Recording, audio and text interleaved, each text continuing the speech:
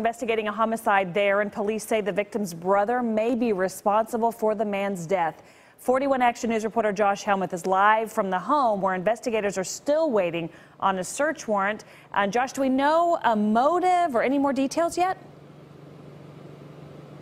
No, we don't know very much at all at this point. They, they just got the search warrant to in, start investigating on the inside of this duplex literally about a half hour ago. We, they've been waiting here most of the day to get that search warrant. The crime scene unit just pulled up about a half hour ago. They've just recently gone inside, and that's where the victim's body still lies. Police got the call of a disturbance around 940. They say shots were fired, and the gunman drove off before they arrived. Once they did get to the home, the victim was already dead. And after a short search, the alleged gunman, again, a brother to the victim, pulled back up to the house.